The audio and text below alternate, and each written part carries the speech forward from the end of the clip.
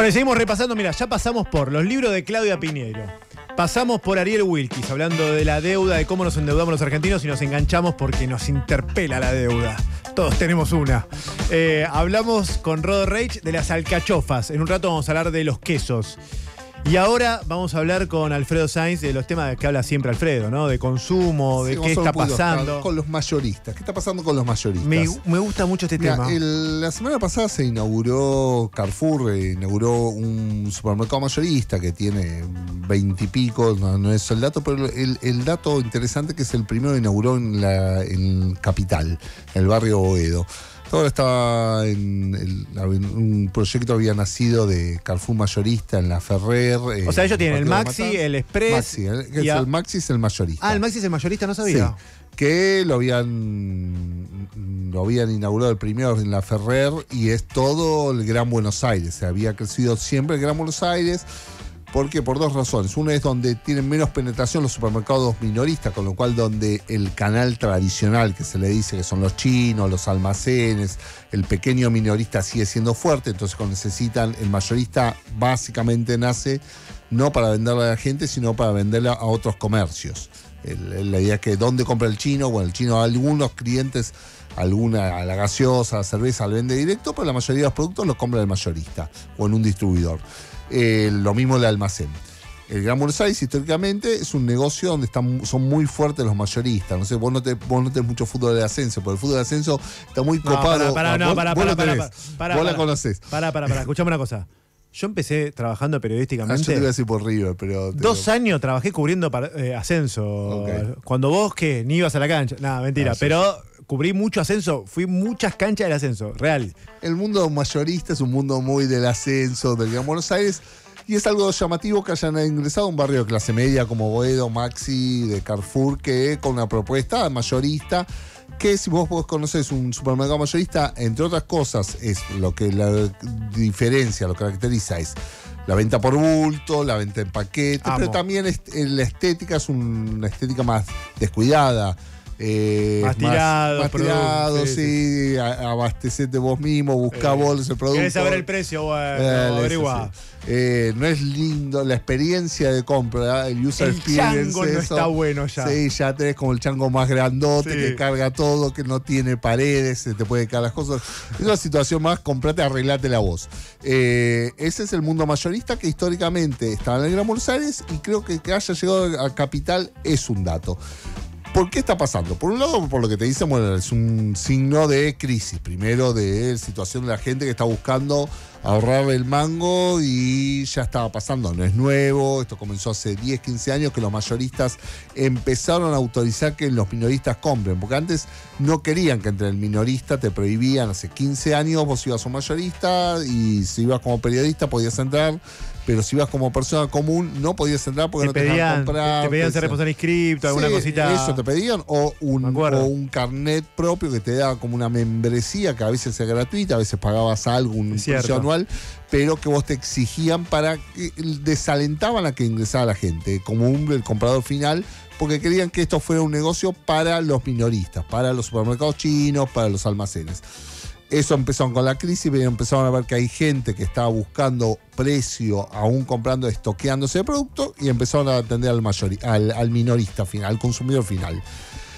Hoy por hoy, te digo, ese modelo vos tenías que agarrar el auto e irte por lo común, un mayorista en las afueras de Buenos Aires existían unos mayoristas en Cava, pero e- era menos común. Ahora vas a empezar a ver, porque Carrefour ya anunció que van a crecer con este modelo en la ciudad de Buenos Aires. Este habla de que hay más gente que está dispuesta a sacrificar la experiencia de compra, la comodidad de comprar un lugar lindo, con más facilidades de métodos de pago, todo por el tema de precios. ¿eh? Pero pará, Alfredo, una, una duda que tengo mientras te escuchaba. Ya existen mayoristas en Capital, digamos. Hay. Sí, el- Hay un Vital, Exacto, sí, hay sí, un. pero no, no lo están las cadenas eh, de supermercados. Hoy que tenés, en, eh, tenés Diarco, que ya tiene un Diarco, modelito claro. nuevito para atender minorista, el mayorista de barrio. Este es un mayorista más grande, el de Maxi Ok. de Carrefour. Eh, sí, existían algunas experiencias, digo, no son muchas. El, el, el grosso de Ok. Bostería es el vital de, No, y aparte- de la calle Gallo. Claro. Y hay otro El eh, Tronador, Sí, sí. a ese fui. digo, pero son dos o tres, ¿no? No era un modelo. Hay un maxi consumo también por el pues, la paternal, por el puente Tenés San razón. Martín a dos cuadras. Pero Claro, lo que pasa es que necesitas mucho espacio aparte. Es un, es un Sí. lugar. Bueno, hay supermercados grandes también, pero necesitas mucho espacio. Mm, Pero estaba muy restringido. Yo creo que es un modelo que ahora vas a empezar a crecer. También, ¿qué está pasando? Te digo un, un dato. Mañana, lo, lo acabo de ver hoy, eh, tenés otra cadena mayorista, la, la nombramos Diarco, que tiene el descuento con la billetera digital, la de Galperín Mira, que es un modelo, hoy por hoy te digo, las billeteras digitales, ¿te acordás cuando empezaron los descuentos que vos podías tener esas promociones con tu tarjeta de banco, que fue en el 2001, 2002, que fue el método que encontraron los bancos? Después del corralito, el desastre, que nadie quería ver pisar un banco, que la gente huía a los bancos, para decir, bueno, che, volvemos a ofrecerle a los clientes diciendo esos descuentos.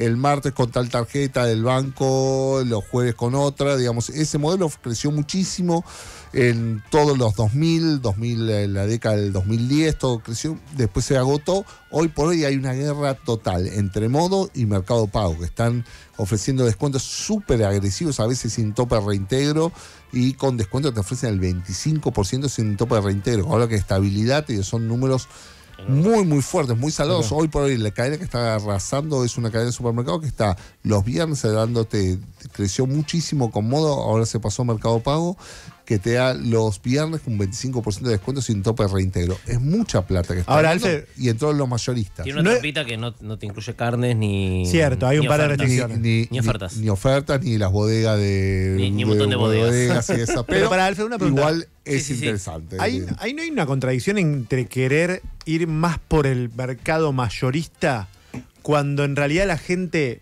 por lógica, o si querés, en un contexto donde se supone que la inflación va a bajar, ya no se va a estoquear tanto? Es la pregunta del millón. Se va, eh, Perfecto, digamos, eso.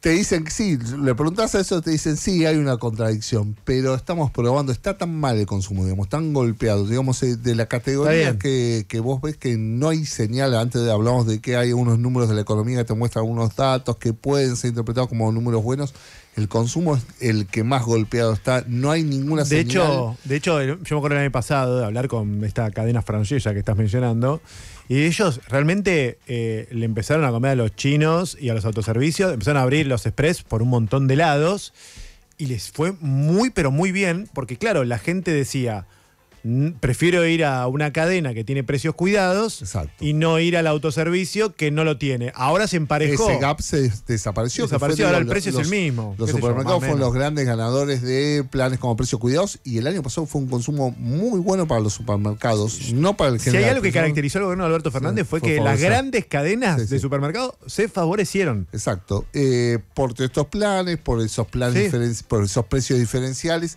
ahora perdieron ese anabólico que significaban los, los controles de precios y los acuerdos de precios que se los encontrabas, los precios congelados, acordados, cuidados, llamarlo como quieras, los encontrabas en las grandes cadenas y no los encontrabas en los chinos y los almacenes.